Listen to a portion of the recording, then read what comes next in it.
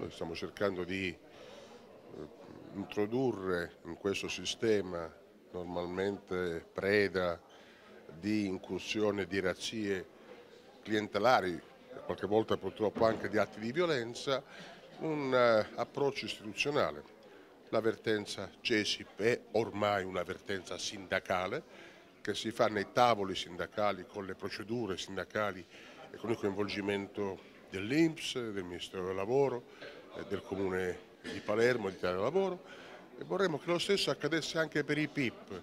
Considero certamente non accettabile l'idea che il sindaco della città di Palermo debba prendere per caso un giornalista ieri domenica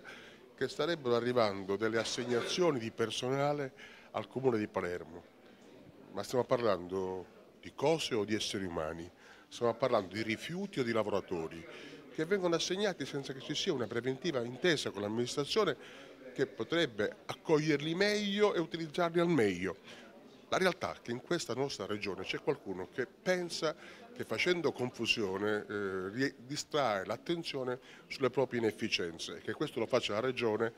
che ormai tutti comprendono essere in condizioni di precommissariamento diventa ancora più grave. Io sto facendo uno sforzo enorme per mettere in sicurezza sono riuscito, i conti del Comune di Palermo, non consentirò che gli sprechi delle caste regionali uccidano la città.